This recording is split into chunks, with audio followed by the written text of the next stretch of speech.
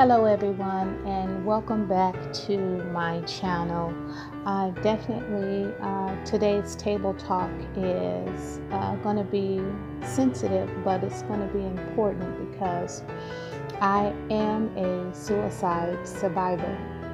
And it's uh, important that I talk about it because I don't want people to think about it as being such a touchy subject that I'm afraid to address the issue. I'm uh, I want to address the issue because at one point I had a turning point. At one point I wanted to die and not live, but then at one point I had a turning point and I wanted to live and not die. So I want to talk about it and uh, always, always shoot me back emails.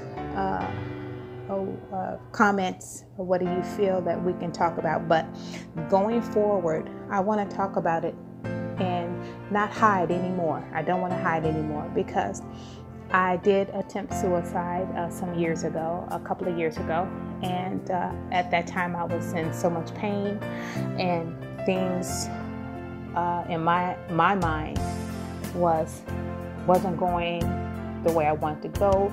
Uh, I felt like I wasn't being loved. I, I was so depressed. I mean, deeply, deeply depressed to the point where I was strategically making plans to die. And we'll talk about how depression and deep depression carries different symptoms and it carries different weights of, uh, of symptoms. And uh, I talk about it in the book. The book will be out in, think the book will be in Barnes and Noble in December. And uh, it's titled Guess What's in My Purse? Thriving with Mental Illness.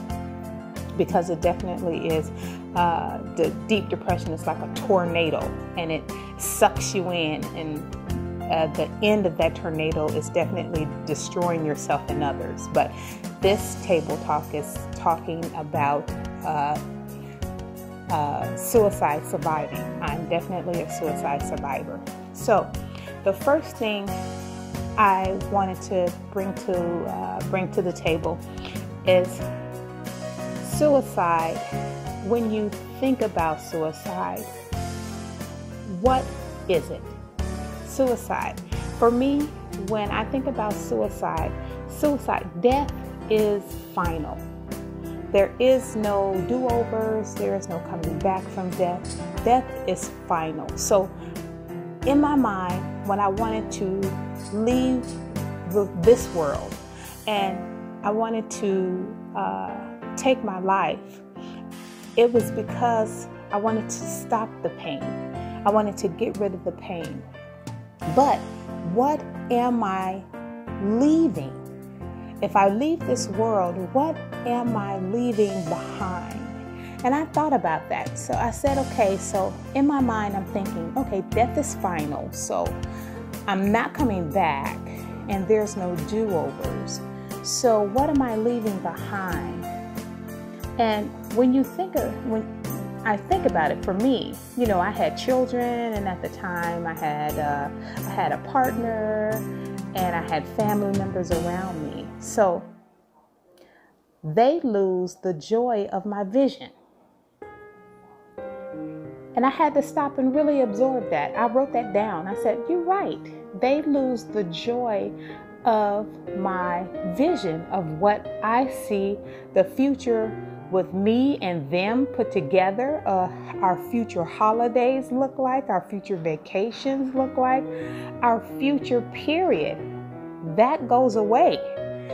If I would have success, successfully uh, uh, committed suicide, if I had successfully committed suicide, there wouldn't be a next page or a next chapter for me. It wouldn't be any visions out of my head sharing with family members or friends. It would have been nothing. So that that would have been out the door. That's one thing. So you wouldn't have had the joy of experiencing any visions or any uh, any uh, any happiness coming from me. That's one. I wrote that down. And this, the next one I wrote was, you don't get a do-over. So if I don't get a do-over, so that means I'm going to miss my daughter's graduation from college. Both of my girls graduated from college. I'm going to miss that. Both of my boys, their first uh, paycheck from their jobs, they immediately went into the workforce. I'm going to miss that. I was going to miss them. They wanted to have a birthday party for my first granddaughter. I was going to miss that. There's no do overs, and I couldn't have, there is no rewind for me to say, oh, play that back. I would like to see her fall in the skating rink, play that back. I can't do that. And I had to remember the legacy dies with me. The legacy of, in my mind, I, I, dreamed of having a business, a small business, and letting that business grow and letting that business uh, be family owned and then share that business with my kids and let them take over when I get 90 and let them hand it down to my grandkids and when they get old and just watch everybody grow old and have stories to tell how the store changed and how how we started using uh, money and from money to credit cards and from credit cards to chips in the hand how digital uh, the digital age came back. I wouldn't have been able to do any of that. This is what you lose when you take your life and I couldn't, I couldn't think about it then because I was letting pain take over. I was letting pain have uh, uh, more control over my thinking instead of me balancing things out and stopping and saying, hey, the pain is temporary, it goes away. But your legacy, if you if you decide to die today, your legacy you cannot review and rewind and get put it back on the table to talk about it. You can't do all any of that. That's that's a done deal. So i wanted to bring that to a topic too for us to discuss because death is final. And i have to bring that to the community too. I don't want to lose the benefit of your vision shared with the public the benefit of your vision shared with the community. You might be the next big thing. And I won't get to see that if you decide to do harm yourself. You think taking your life is a good idea. It's not a good idea. I've been there. It's not. It's not even worth it. The pain is temporary. It's if it gets to the point where you need to reach out, reach out. You know what I did? I did an inpatient stay at a hospital where I can slow down and I can make sense of things and I can start putting things together. And they had to give me a little bit of medicine management so I can I can balance out. But when you get to the point where it means your life and your legacy and your future and uh, you want to have children one day and you want to have a marriage one day and a beautiful relationship one day, hey, medicine management is a g- better choice as opposed to destroying yourself or destroying others. I just want to put that out there. I'm not afraid to put that out there. I decided to do a turning point when my clinician partnered with me and said she will partner with me and together we will carve out a future, a vision, a plan, whatever that looks like. My kids get to enjoy it, my grandkids get to enjoy it, the community gets to enjoy it, the world gets to enjoy it. Everybody gets to enjoy the vision that I want to share because I'm still here. And I decide to stick around just to see how it looks at the end. I would actually love to see a car fly in the air, just out of just as a joke, just to see, just to see uh, innovations change in our lives you know, just we'll never experience that if we just decide so quickly. Don't be so hasty to turn the page and say, "Oh my goodness, uh, death is the the the uh, the next best thing for me." death will never be a good thing. It will never be a good choice. And I, I also have to think about the additional tragedies that I cause if I decide to do those things. If I decide to hurt myself and others, look at the tragedies I, I create a domino effect. I hurt my kids, then I hurt my partner, then I hurt my grandkids, and then who knows? They grow up with a trauma in their life and they can't cope. And then here it goes I create a suicide domino effect. And I didn't benefit anything. There goes the legacy again. It goes down the drain. So no, I definitely want to have a, a conversation about it. It's a it's a, a, touchy subject, and it's a very it's a uh, kind of scary, but I'm not afraid of it. I'm not afraid of it because I chose life and I want you to choose life.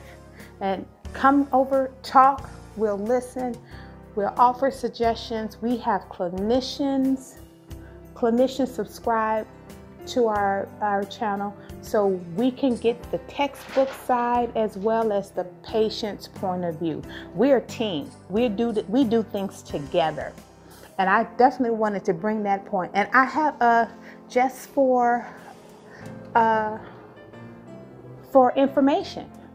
There's nothing wrong with medicine being applied to your components to keep you out of balance because I do medicine, but I do medicine, I do a little bit of medicine, I do a little bit of uh, psychotherapy, which is my uh, clinician, and then I do applied uh, antidotes to my uh, to my uh, triggers and my episodes, and I do execution. I do execution. If you don't execute what we're uh, what we're implementing and what you're implementing for yourself, you can personalize it towards yourself. If you don't execute it, then it's so non-effective.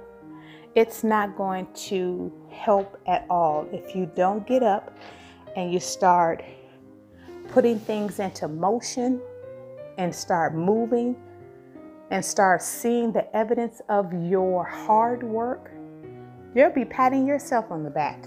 I'm sure of that. So definitely, let's, let's talk about it. This is our, one of our table talks that uh, it was kind of sensitive and kind of uh, chalky, but I wanted to talk about it. And I definitely want to keep uh, keep open one of the other things about deep depression and depression.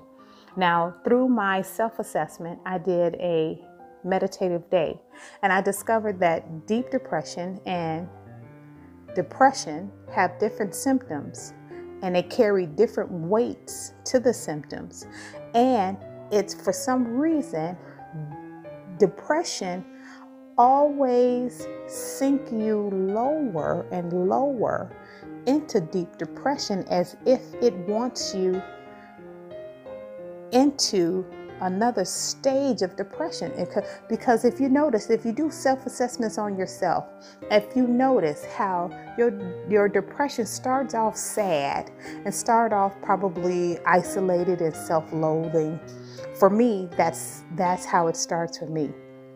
But then it doesn't stay that way. It always sinks lower into suicidal ideations. It sinks lower into uh, strategic harming, like I want to harm myself, and it sinks lower to lower. And before you know it, you're back to wanting to harm yourself and others. So I, when I discovered that, I said I'm going to put that down for table talks because that's awful. That's awful. You know, that's something that hasn't been really identified to the point where nobody's putting it on the table to talk about.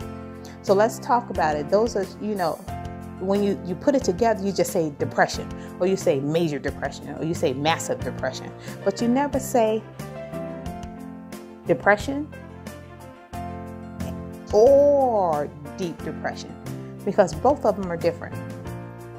And I want to, uh, from now on, I think I'm going to go and I'm going to start saying both of them are different as far as I'm concerned because that's the way uh, it presents itself in, in my life and that's the way it presents itself as far as the symptoms in my life as well too.